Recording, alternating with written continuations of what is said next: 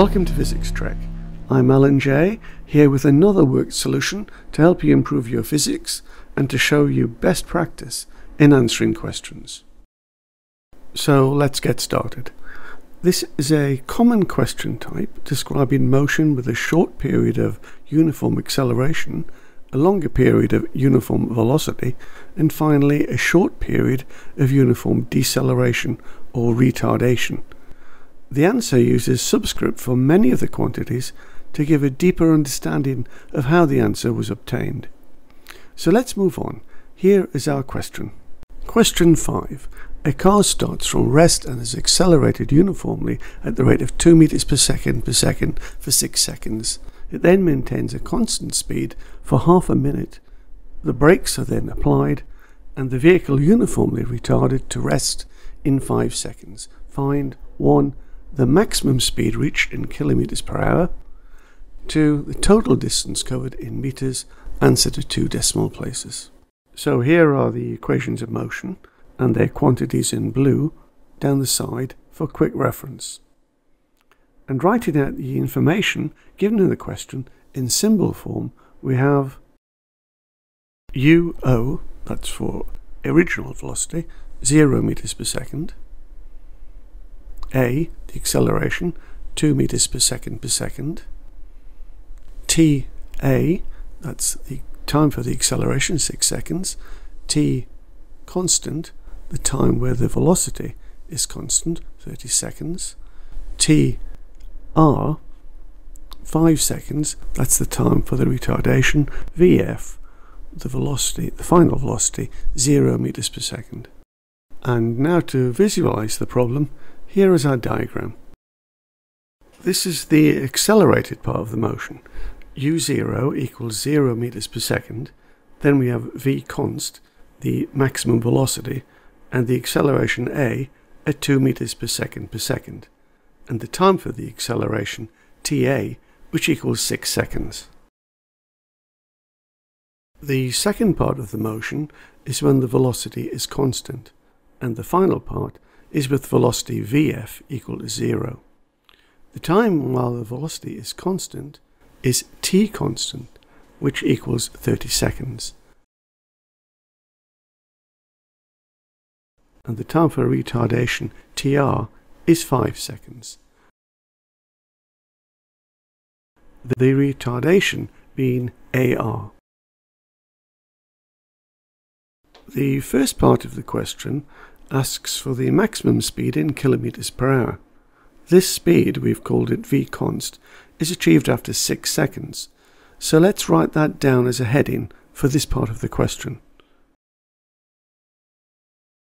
Maximum speed v const is at the end of 6 seconds. Now we have u, a and t and are required to work out v, so we will be using v equals u plus at. So we can straight away write v const equals u original, uo, plus a t a. Putting numbers in, uo 0, a is 2, ta is 6. So v const is equal to 2 times 6, which is 12 meters per second. Which isn't our answer to the first part. Remember, we want the answer in kilometers per hour, so we write conversion to kilometers per hour, divide by 1000, and multiply by 3600.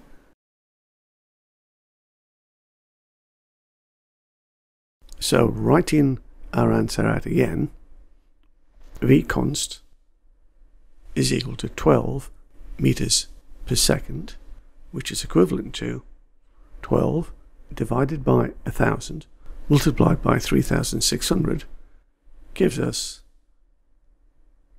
43.2 kilometers per hour. The last part of the question asks for the total distance travelled. This distance is the sum of three separate distances.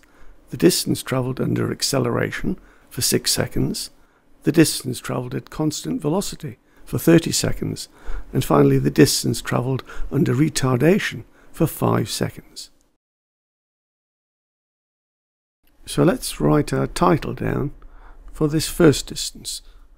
The distance travelled in the first six seconds under accelerated motion.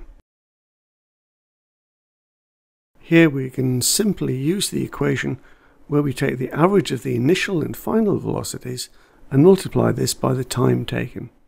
So we have s is equal to u plus v divided by 2 and multiplied by t. So putting this in our symbols, we have u naught plus v const divided by 2 and multiplied by ta. Putting the numbers in, 0 plus 12 divided by 2 multiplied by 6, which gives us 6 times 6, which gives us 36 meters. Now to calculate the distance travelled in the 30 second period. As before, we use distance is equal to average velocity multiplied by time taken. In terms of our symbols, this is v const times t const. Putting in the numbers, v const is 12, t const is 30, 12 times 30 gives us 360 meters. And now to calculate the final distance, the distance travelled in the last 5 seconds. This last bit is a bit tricky, not straightforward like the last two calculations. The problem is that there is not enough information to calculate the distance. We only have the velocities at the start and end of the retardation and the time taken. In other words, u, v and t. To use any of the equations with s in them, we must have a, the retardation. So here is our calculation of a. The definition of acceleration is equal to the change in velocity divided by the time taken. In other words, v minus u over t using our symbols, that's Vf minus V constant divided by the time t, r, time for retardation, putting in the numbers that's 0 minus 12 divided by 5, which gives us minus 2.4 meters per second per second. I'm just putting in brackets here a subscript r to remind us that it, this is not an acceleration, it's a retardation. AR. We choose v squared minus u squared equals 2as because it is the simpler of the two equations with s in it. So let's start by writing out our equation. v squared minus u squared is equal to 2as. And let's put it in terms of our symbols. vf squared minus v const squared is equal to 2a rs now we may need to make s the subject, so we turn the equation around to 2as is equal to v f squared minus v const squared.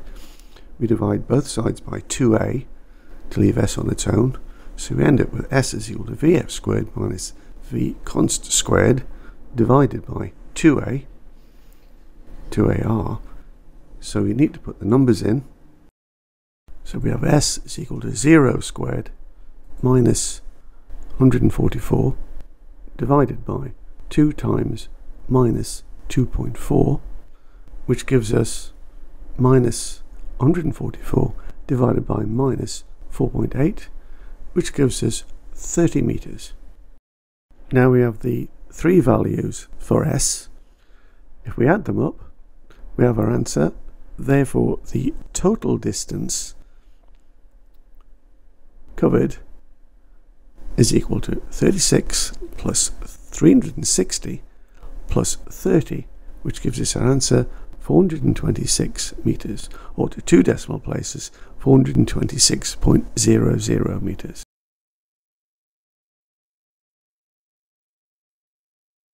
And that's all for now. I hope this video has helped you out. Do look out for more worked solutions on the topic equations of motion, more coming soon. Anyway, thank you all for watching. Please do subscribe to the channel and be the first to see all the latest releases.